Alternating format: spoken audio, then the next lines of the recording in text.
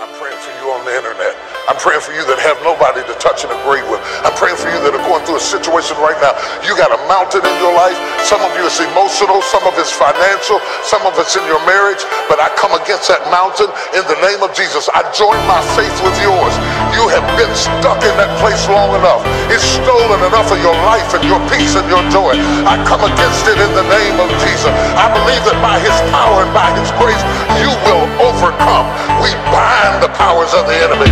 We the offspring of your incidents and accidents, tragedies, and adversities. I command healings and blessings and prosperity to come into your life from the north, the south, the east, and the west. Your blessing is about to overtake you. You're about to rise up like you have never risen up before.